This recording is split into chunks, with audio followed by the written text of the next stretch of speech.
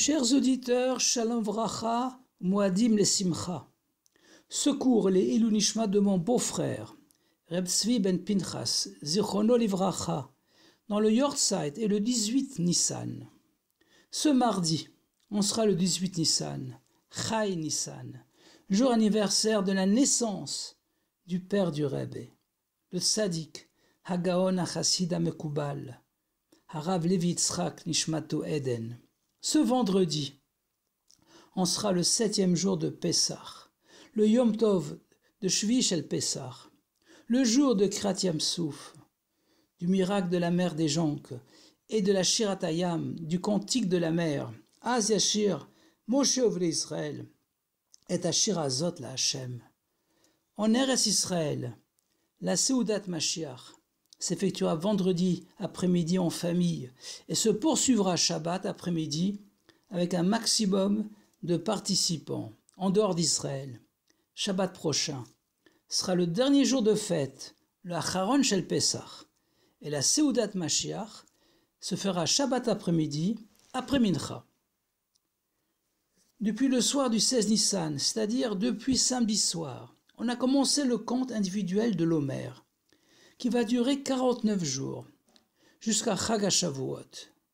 Mais ce soir, du 16 Nissan, on a porté aussi au Mishkan et après dans le Beth Amikdash l'offrande de l'Omer, à peu près 4 kilos d'orge, au Kohen, qui le balançait devant Hachem. Comme il est écrit dans Vaïkra, chapitre 23, versets 10 et 11, Va vetem et Omer reshit ketzirchem el Kohen, et vous apporterez un Homer de prémisse de votre moisson au Kohen, et il balancera l'Homer devant Hachem. Le Kohen représente le monde de la pensée, de la marchava. En balançant l'Homer, cette mesure d'orge, qui est essentiellement une nourriture pour les animaux, le Kohen raffinait nos facultés intellectuelles.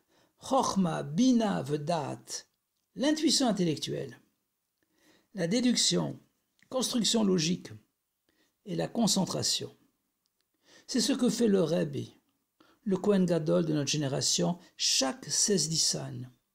Il nous appartient ensuite à raffiner nos sept sentiments, Chesed, Gvura, Tiferet, Netzahod, Yesod et Malchut, dont toutes leurs ramifications pendant 7 fois 7 égale 49 jours pour se préparer à recevoir la Torah à Shavuot.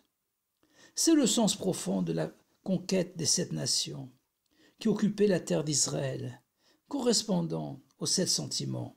Les trois nations restantes, qui correspondent aux trois facultés intellectuelles, ne seront complètement conquises et raffinées qu'à l'ère messianique.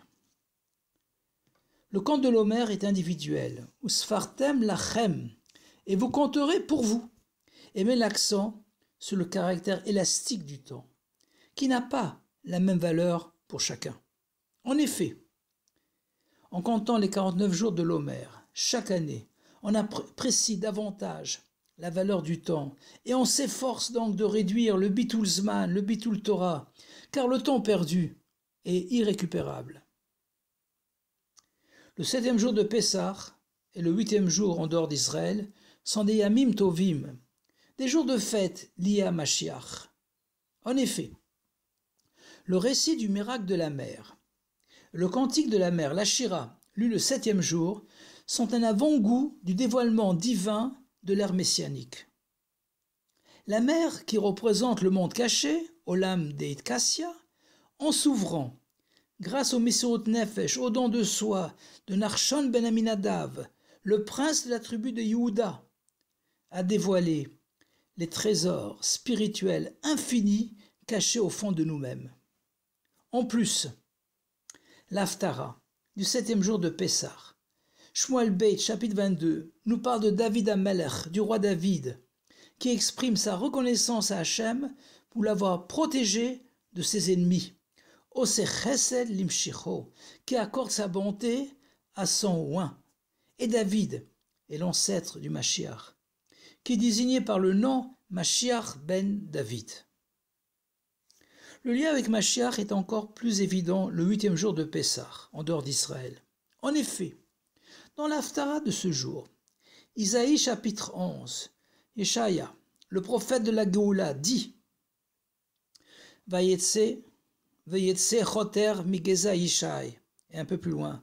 Vegar zeev im keves.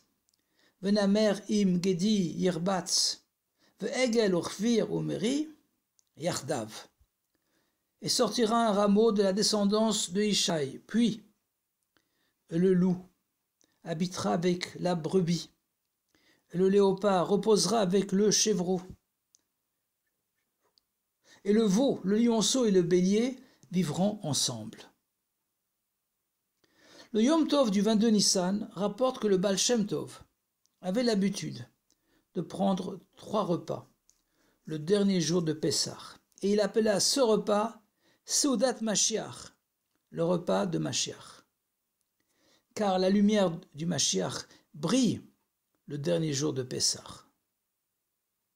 Si c'est le Baal qui a dévoilé ceci, il y a à peu près 270 ans, c'est parce qu'il a eu le jour de Rosh Hashanah 5507, il y a 275 ans, une Aliyat Neshama, une élévation de son âme.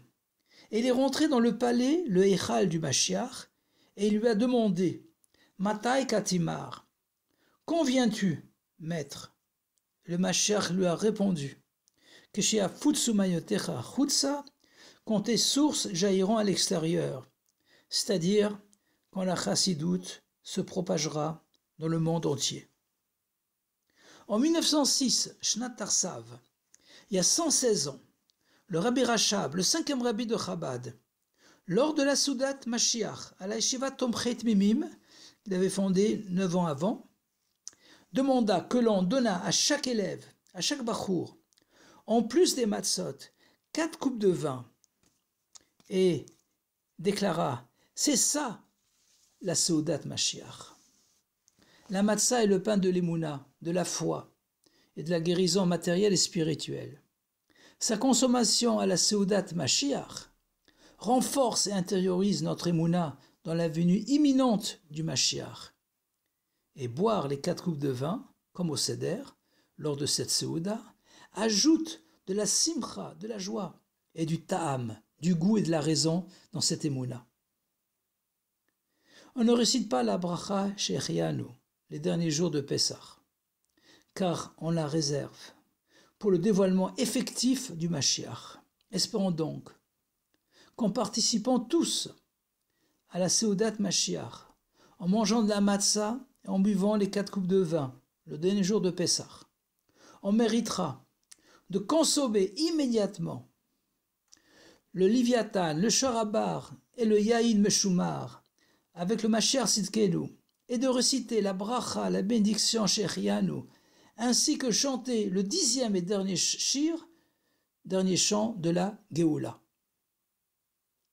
Ce Shabbat en Israël est le Shabbat Acharé, la paracha traite du service du grand prêtre le jour de Kippour dans le Saint de Saints. Avodat Akwen Gadol Bekodesh HaKodashim Beyom Kippour, où la divinité était totalement dévoilée, bien que ce soit un endroit matériel, limité, et que le Kohen Gadol y pénétrait Neshama Begouf, l'âme unie au corps. Ceci, contrairement aux deux fils d'Aaron, à Kohen, Nadav et Avihu, qui, dans un élan d'union avec Hachem, sont rentrés dans un état d'extase intense, sans les préparations adéquates, jusqu'à ce que leurs âmes ont quitté leur corps, entraînant leur mort. Le Kohen Gadol devait porter de très beaux vêtements, les chavod les tiferet, et même être riche, car la perfection dans la gdusha, dans le spirituel, doit s'exprimer aussi matériellement, afin de sensibiliser et inspirer notre entourage. Mais ce n'est pas uniquement le grand prêtre, mais chaque Cohen, qui tout en se consacrant au Kodesh, servait en même temps Hachem dans ce monde matériel, purifiant même certains cas d'impureté. Ceci s'applique aussi à chaque juif, car à Matan Torah, lors du don de la Torah, Shmot chapitre 19 verset 6, le peuple juif est devenu un royaume de prêtres, Mamlechet Kohanim, et même de grands prêtres, et donc chaque juif doit aspirer à rentrer dans le Kodesh HaKodashim, Ceci se réalisera pleinement avec le dévoilement du Rabbi Melech HaMashiach Miad Bamash, Yechi Adonai Morin V'Rabbeinu Melech HaMashiach Yolam Va'et, Chag Sameach V'Shabbat Shalom, Gut Yantev, Gut Shabbos, et à bientôt dans le troisième Beth Amikdash.